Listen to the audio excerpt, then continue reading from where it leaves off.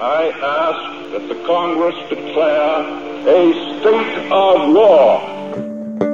A lot of our men, of course, were drafted, and so we went recruiting young ladies.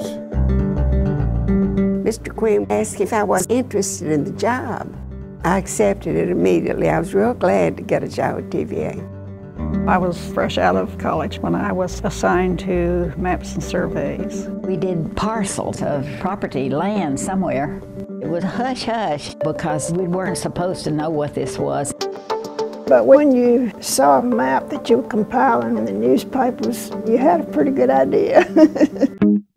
they took to it, they learned quickly. Their drafting was nicer than ours. They had greater patience than most men.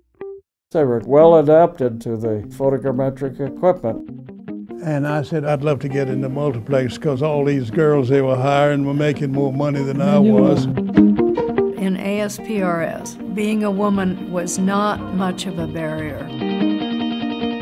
If you look around now at the USGS and the civilian side, it's truly becoming one world, and this is part of it.